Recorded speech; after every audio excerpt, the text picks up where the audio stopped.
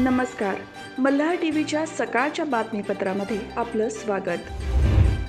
राष्ट्रवादी काँग्रेसच्या उन्मादी कार्यकर्त्यांनी पोलिसांना वेठीस धरून सुरू केलेल्या गुंडगिरीमुळे शांततेने जगण्याचा जनतेचा हक्क संकटात आला आहे असा आरोप भाजपचे प्रदेश उपाध्यक्ष आणि मुख्य प्रवक्ते माधव भंडारी यांनी केला आहे. मंगळवारी पनवेलमध्ये भाजपच्या शहरातील मध्यवर्ती कार्यालयात पत्रकार परिषद आयोजित करण्यात आली होती.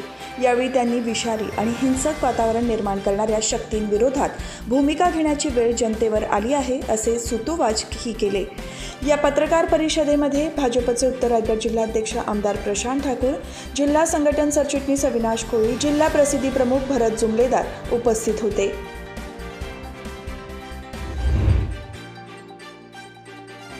मुंबई पुणे द्रुतगती महामार्गावर आमदार संग्राम जगताप यांच्या गाडीचा अपघात झाला आहे. महामार्गावरील रीस हद्दीतील मुंबई लेनवर मंगळवारी पहाटेच्या सुमारास बी एम डब्ल्यू कार आणि महाराष्ट्र राज्य मार्ग परिवहन महामंडळाच्या एस टी बसला अपघात झाला. या अपघातात दोन्ही वाहनांचं नुकसान झालं असलं तरी कोणतीही जीवितहानी झाली नाही. B M W car S टीवर आदळताच कारमधील एअरबॅग बाहेर पडल्या आणि कारमधील आमदार संग्राम जगताप आणि कार चालक बचावले. अपघातादरम्यान आमदार संग्राम जगताप आणि त्यांचे कार चालक वाहनात असल्याचे प्राथमिक तपासात उघड झाले आहे. कारच्या एअरबॅग बाहेर पडल्या होत्या. मात्र अपघातानंतर कारच्या दोन्ही नंबर प्लेट कारला नसल्याचे दिसून आले.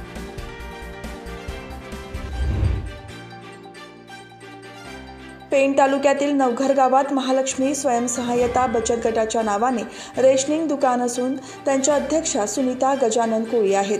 या रेशनिंग दुकानावर गावातील ग्राहकांना अनियमित रेशन पुरवठा होत असून वारंवार अपमानास्पद वागणूक मिळायची. याबाबत ग्रामस्थांच्या वतीने वारंवार शासकीय कार्यालयात निवेदन देण्यात आली. यानंतर तहसील कार्यालयात दोन वेळा बोलावून सुद्धा काहीच निर्णय झाला नाही. त्यामुळे रेशन धान्य दुकानदाराच्या मनमानी कारभाराविरोधात ग्रामस्थांनी आपल्या लहान मुलांसह पेण प्रांत कार्यालयासमोर ठिया आंदोलन करत एक दिवसाचं लाक्षणिक उपोषण केले. यावेळी तालुका पुरवठा अधिकारी सुरेश थळे यांनी उपोषणकर्त्यांची भेट घेत याबाबत कार्यवाही करण्याचे आश्वासन दिले.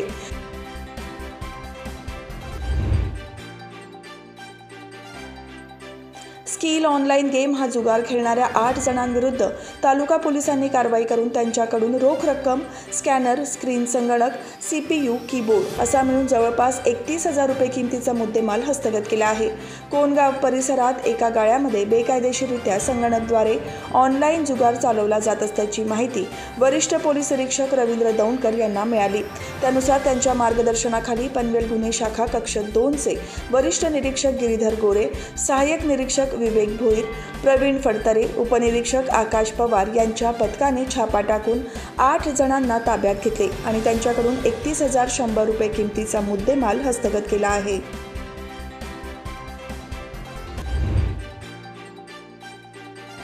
राज्यातील स्थानिक स्वराज्य संस्थांच्या निवडणुकीचा प्रश्न प्रलंबित आहे. ओबीसी आरक्षणावर तोडगा निघत नाही तोपर्यंत या निवडणुका घेतल्या जाऊ नयेत अशी सर्व पक्षीयांची भूमिका आहे. मात्र राज्य निवडणूक आयोगानेही पावसाळ्यामुळे या निवडणुका ऑक्टोबर आणि नोव्हेंबर महिन्यात घेण्यात याव्यात अशी भूमिका घेतली आहे. त्यानंतर आता सर्वोच्च न्यायालयाने ज्या ठिकाणी पावसाची अडचण येणार नाही त्या ठिकाणी निवडणुका घेता येतील का यावर विचार करावा असे निर्देश मंगळवारी झालेल्या सुनावणी दरम्यान दिले आहेत.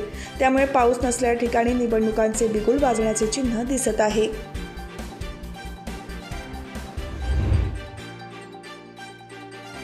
पेण अर्बन बँकेच्या ठेवीदार संघर्ष समितीचे पदाधिकारी आणि आमदार संजय केळकर यांनी सह्याद्री अतिथीगृहामध्ये केंद्रीय अर्थ राज्यमंत्री डॉक्टर भागवत कराड यांची भेट घेऊन ठेवीदारांचे प्रश्न मार्गी लावावे अशी मागणी निवेदनाद्वारे केली. अनेक वर्ष आंदोलने धरणे उपोषणे करूनही ठेवीदारांना न्याय मिळत नव्हता. राज्यस्तरावर देखील बैठका घेण्यात आल्या होत्या परंतु ठेवीदारांना अपेक्षित न्याय मिळाला नाही. त्या अनुषंगाने आमदार संजय केळकर यांनी नुकतीच केंद्रीय अर्थमंत्री डॉक्टर भागवत कराड यांच्याकडे ठेवीदारांच्या व्यथा मांडल्या. यावेळी संघर्ष समितीचे कार्याध्यक्ष नरेंद्र जाधव पेणच्या नगराध्यक्षा प्रीतम पाटील नगरसेवक अजय क्षीरसागर नगरसेविका शहनाज मुजावर दिनेश गायकवाड उपस्थित होते.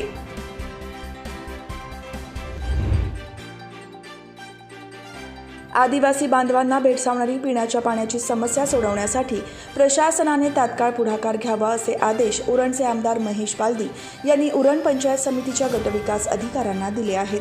चिरनेर ग्रामपंचायत हद्दीतील केळ्याचा माल चांदायणी आदिवासी वाडीतील बांधवांना पाणी पुरवठा करणाऱ्या विहिरीने तळ गाठल्याने आदिवासी बांधवांना पाण्यासाठी संघर्ष करावा लागत आहे. त्यातच भर उन्हाळ्यात डबक्यातील दूषित पाणी प्यावे लागत आहे. त्यामुळे अनेक आजारांचा सामना करावा लागत आहे. या संदर्भात चिरनेर ग्रामपंचायत हद्दीतील केळाचामाल चांदायणी आदिवासी वाडीवरील आदिवासी बांधवांनी मंगळवारी उरणचे आमदार महेश वाल्दी यांची भेट घेऊन पाण्याची समस्या दूर करण्यासाठी पुढाकार घ्यावा अशी मागणी केली. या मागणीची दखल आमदार महेश बालदी यांनी घेऊन उरण पंचायत समितीच्या गटविकास अधिकारी नीलम गाडे यांनी तातडीने प्रयत्न करावे असे आदेश दिले आहेत.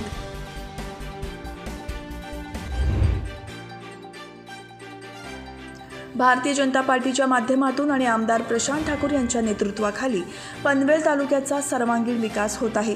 त्याअंतर्गत तालुक्यातील बेलवली आणि वारदोली येथे आमदार प्रशांत ठाकूर यांच्या स्थानिक विकास निधीमधून रस्ता काँक्रिटीकरण आणि शाळा दुरुस्तीचे कामाचं भूमिपूजन आणि मूळ येथे स्मशानभूमी बांधण्यात आली आहे. या सर्व कामांचे भूमिपूजन आणि लोकार्पण भाजपचे पनवेल तालुका अध्यक्ष रणशोद भगत यांच्या हस्ते झाले.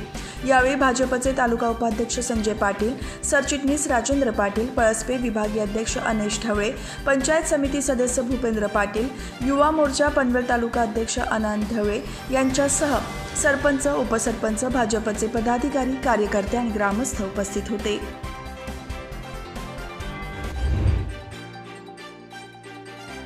अलिबाग शहरातील मांडवी मोहल्ल्यातील एका कॉटेजमध्ये चार मृतदेह सापडले आहेत. त्यात एक महिला एक पुरुष आणि दोन लहान मुलांचा समावेश आहे. हे चारही जण पुणे जिल्ह्यातील शिक्रापूर तालुक्यातील मलठण येथील राहणारे आहेत. या घटनेमुळे अलिबाग शहरात एकच खळबळ उडाली. प्रियांका संदीप इंगळे भक्ती संदीप इंगळे माऊली संदीप इंगळे आणि कुणाल चिंतामण गायकवाड अशी मृतांची नावे आहेत. प्रियांका इंगळे आणि दोन्ही मुले बेपत्ता असल्याची तक्रार दोन मे रोजी प्रियांकाचे पती संदीप इंगळे यांनी शिक्रापूर पोलीस ठाण्यात दिली होती. दरम्यान प्रियांका आणि कुणाल यांचे मृतदेह कॉटेजमध्ये लटकलेल्या अवस्थेत होते. तर भक्ती आणि माऊली यांचे मृतदेह बेडवर होते. पोलिसांनी या घटनेचा पंचनामा करून मृतदेह शवविच्छेदनासाठी रुग्णालयात पाठवले असून मृतांच्या कुटुंबियांना याबाबत कळवण्यात आले आहे. मुलांना विष पाजल्यानंतर प्रियांका आणि कुणाल यांनी गळफास घेऊन आत्महत्या केली असावी असा अंदाज व्यक्त केला जात आहे.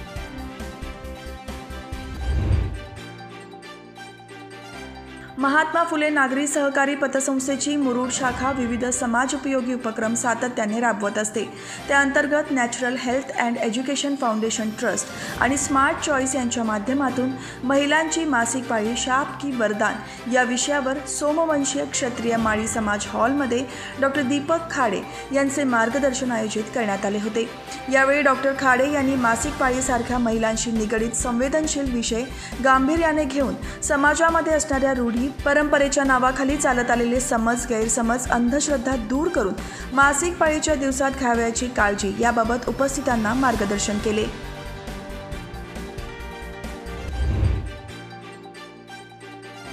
स्वदेश फाउंडेशनच्या वतीने रायगड नाशिक आणि कोल्हापूर जिल्ह्यामध्ये कोविड लसीकरणाचा वॅक्सिनेशन ऑन व्हील हा उपक्रम सुरू आहे. या अभियानाअंतर्गत आतापर्यंत लसीकरणाचा टप्पा दीड लाखांपर्यंत पार केला आहे. रायगड जिल्ह्यात पन्नास हजार लसीकरणाचे लक्ष पूर्ण करण्यात आले आहे. या उपक्रमाची सुरुवात माणगाव तालुक्यातील तासगाव आदिवासीवाडी येथून झाली होती. वॅक्सिनेशन ऑन व्हील या कार्यक्रमामध्ये स्वदेश फाउंडेशनच्या वतीने nurse data entry operator driver ambulance यांच्यासह इंधन खर्च करण्यात येत आहे. जिल्हा प्रशासनाच्या वतीने कोविड प्रतिबंधक लस उपलब्ध करून देण्यात येत आहे. फाउंडेशनच्या वतीने रायगड जिल्ह्यामध्ये सात ॲम्ब्युलन्सद्वारे पनवेल पेण कर्जत महाड पोलादपूर म्हसळा माणगाव तळा सुधागड या तालुक्यांमध्ये लसीकरण करण्यात आले.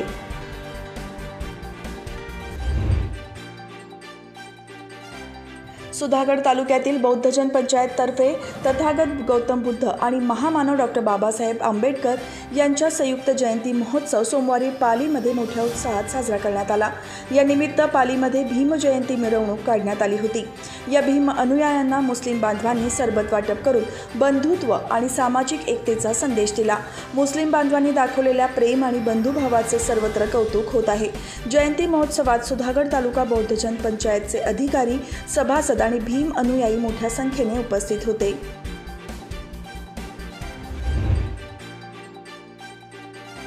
कार्लेखिंड मिनीडोर चालक मालक संघटने कार्लेखिंड ते सारळपूर दरम्यान रस्त्यावर पडलेले खड्डे त्वरित भरण्यात यावे अशी मागणी सार्वजनिक बांधकाम विभागाकडे निवेदनाद्वारे केली आहे. कार्लेखिंड ते सारळ पुलादरम्यान रस्ता खूप खराब झाला असून जलपाडा कामार्ले कावाडे ते बेलपाडा येथील रस्ते तर खड्ड्यांनी व्यापले आहेत. त्यामुळे अनेक लहान मोठे अपघात होतात. याची दखल घेऊन सार्वजनिक बांधकाम विभागाने पावसाळ्यापूर्वी हे खड्डे भरावेत. या मागणीचे निवेदन कार्लेखिंड मिनीडोर चालक मालक संघटनेचे अध्यक्ष शैलेश पाटील उपाध्यक्ष विकास पाटील सचिव सत्यवान ठाकूर आकाश मोकल यांनी मंगळवारी दिले आहे.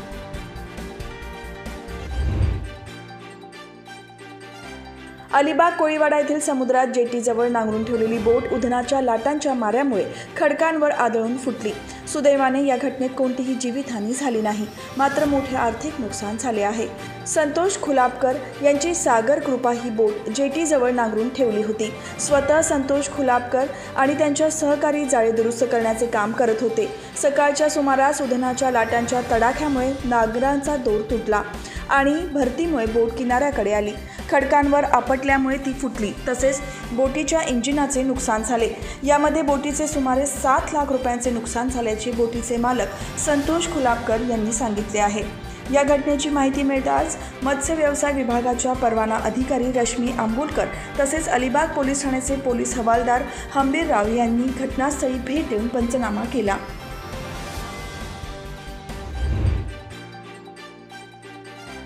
रस्त्याने पायी जाणाऱ्या रवींद्र गिड्डे यांच्या गळ्यातील तब्बल एक लाख वीस हजार रुपये किमतीची सोन्याची चेन खेचून मोटरसायकलवरून पळून जाणाऱ्या प्रयत्नात असलेल्या एका लुटारूला नागरिकांनी पकडून पोलिसांच्या स्वाधीन केले आहे. ही घटना कामोठे सेक्टर सहामध्ये सोमवारी रात्री घडली आहे.